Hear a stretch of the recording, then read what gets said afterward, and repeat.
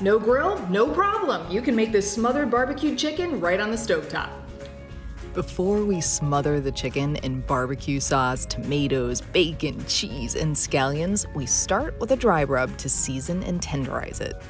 Up to 36 hours before you plan to cook, sprinkle the chicken with salt, pepper, paprika, cumin, and garlic powder.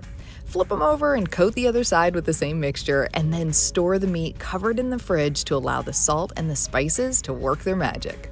When you're ready to cook, heat a large skillet to medium high and cook the bacon first until browned and crisp, and then transfer the cooked bacon to a plate lined with paper towels.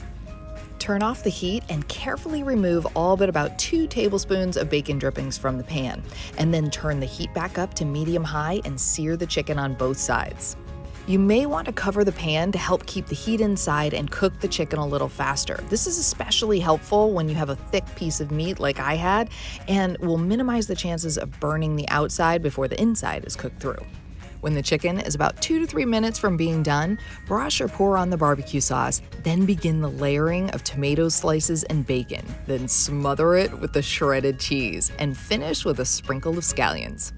To help the cheese melt, Put a lid on top, or if the chicken is too tall for the lid, like mine was, you can make a tent out of foil to trap in the heat. Or you can put the whole thing in the oven under the broiler for about one to two minutes, and that'll make the cheese a little browned and crispy on top.